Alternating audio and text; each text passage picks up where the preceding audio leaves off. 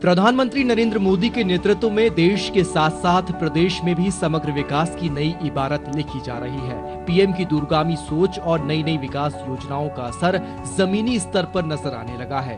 प्रधानमंत्री का smart city mission शहरों के कायाकल्प और नवनिर्माण का नया अध्याय बनकर सामने आ रहा है। स्मार्ट सिटी के लिए चयनित प्रदेश के चुनिंदा शहरों में शामिल ग्वालियर इस मिशन के तहत अपने सौंदर्य और अधोसंरचनात्मक विकास के लिए खास पहचान बना रहा है।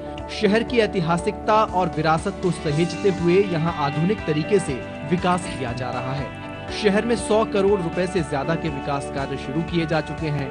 तीन नए पार्कों के निर्माण के साथ हरियाली को विकसित करने के अलावा शहर के महाराज बाड़े पर प्लेनेटेरियम पर्यटक सूचना केंद्र के साथ साथ सार्वजनिक साइकिल सुविधा की भी जल्द शुरुआत हो रही है, जिसका सीधा लाभ शहर वासियों को प्राप्त हो सकेगा। One city one app Gwalior में लॉन्च किया गया, जिससे कि जो आम जनता को रोज़मर्रा की जो आवश्यकताएँ हैं, वो एक ही एप्लीकेशन पर अवेलेबल कराई गई इसमें वुमेन सिक्योरिटी फीचर से लेकर के, बेटियों की सुरक्षा से लेकर उनकी जितनी भी सर्विसेज़ हैं, आज चाहे ब्लड बैंक हो, चाहे पर्यटन पर्यटन से रिलेटेड हो, कोई टूरिस्ट बाहर से आता है, या किसी भी यूटिलिटी बिल्स का हमको पेमेंट करना हो, इतनी सभी सुविधाएँ उस वन सिटी वन ऐप में जोड़ी गई आम जनता के लिए। इसके साथ साथ जो हम लोग सुविधाएँ विकसित कर रहे हैं जैसे साइकिल पब्लिक बाइक शेयरिंग है उसके लिए सभी के लिए साइकिल अवेलेबल होगी सस्ते रेट्स में और साइकिल ट्रैक का भी निर्माण उसमें किया जा रहा है। इस प्रकार से कमांड कंट्रोल सेंटर आगे आने वाले समय में पूरे ज़िले के लिए सूचना का केंद्र बन के सामने आएगा और उसके माध्यम से सिटी से सिटी डैशबोर्ड जो कि तैयार किया जाएगा उसकी उससे सूचनाओं का आ, का उपयोग पूरे ज़िले में सभी जिलेवासी उसको कर सकेंगे। तो इस प्रकार से आम जनता के लिए सभी सर्विसेज़ ध्यान में रखते हुए ही उसको केंद्रित करते हुए बनाई जा रही है। यातायात व्यवस्था को सुगम बनाने के लिए सड़कों के चौड़ीकरण के साथ मल्टी लेवल पार्किंग जैसी सुविधाएँ भी दी जा रही हैं। वहीं शिक्षा के क्षेत्र में भी बेहतरी के लिए शासकीय स्कूलों और महाविद्यालयों का कायाकल्प किया जा रहा है ग्वालियर में शासकीय स्कूलों में सैतीस स्मार्ट क्लास की स्थापना की जा रही है, जिससे बच्चे डिजिटली देश दुनिया का ज्ञान हासिल कर सके वही वन सिटी, वन ऐप के ज़रिए शहर को मोबाइल आरोप एक ही प्लेटफॉर्म ऐसी विभिन्न सुविधाएँ प्राप्त हो रही हैं। स्वच्छता के पायदान पर भी ग्वालियर नित नए आयाम स्थापित कर रहा है। पहले गाड़ियाँ खड़ी करने के लिए जगह नहीं हुआ करती थी। ट्रैफ़िक पुलिस से आए दिन झगड़े हुआ करते थे लोगों के, लेकिन अब स्मार्ट पार्किंग बनने थे यहाँ पार्किंग सुविधा शुरू हो गई है।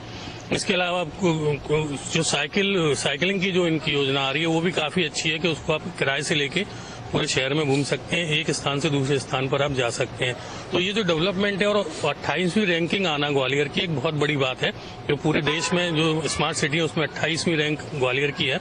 इसका मतलब काम हो रहे हैं, बहुत अच्छे हो रहे हैं, जो प्रधानमंत्री की सोच है कि जो स्मार्ट सिटी बने, वो उनके सपनों की तरह बने, लोगों को सभी सुविधाएँ मिले, चाहे वो पानी की पानी की सुविधा हो, चाहे सीवर की सुविधा हो, चाहे स्वास्थ्य से जुड़ी सुविधा हो, किसानों की चीज़ें हो, ये सब चीज़ें अगर लोगों को मिलेंगी तो वाकई में लोग स्मार्ट की ओर चलेंगे और स्मार्ट नज़र आएँगे। इनसे हमें बहुत अच्छा लग रहा है, काफ़ी ज़्यादा समझ में आता है, पहले इस तरह समझ में नहीं आता था, हमें हमें अच्छी तरह समझा पाती हैं और हमें प्रैक्टिकल करके भी दिखाया था। हमारे स्कूल में एक स्मार्ट क्लासरूम है, उसमें सब कुछ लगा है और मैम हमें अच्छी तरह समझाती हैं, इसलिए हमारे और समझ में आता है। स्मार्ट सिटी के तहत ये प्रधानमंत्री ने जो योजना शुरू करी है, विद्यालयों में इस तरह से जो ये अपना स्मार्ट क्लास शुरू करी है, ये योजना बहुत अच्छी है।